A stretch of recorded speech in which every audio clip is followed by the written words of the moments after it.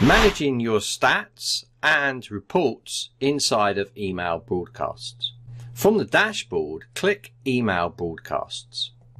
You will be presented if you have started running campaigns. On the top, you will find Overview tab. In here, you can find the amount of emails delivered, opened, clicked, unsubscribed, bounced, and the open rates. This is across all of the emails that you've sent. You can also find a broadcast by typing in the name here and you can click in here and find your emails based on their draft, scheduled, queued, processing, sent or failed, or all. Underneath each of the broadcasts, you'll see that there's information on that particular broadcast. You'll also see inside here that you can delete these out or keep them and you can also clone them here if you want to reuse that design.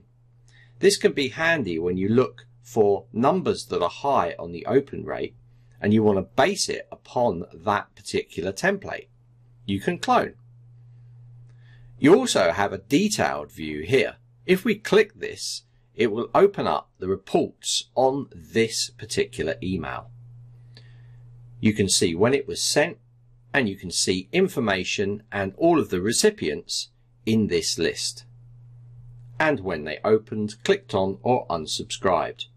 You can also search within here to people that it was delivered, opened, clicked, not opened, not clicked, unsubscribed and bounced, giving you a lot of information. If we click in here at the view details, you can see a preview of what you sent out. This is how you can administer your email broadcasts on Zenler. One final note is you have the ability to export as well. We can export these users out for this email broadcast to a CSV file. This is email broadcast, data and reports.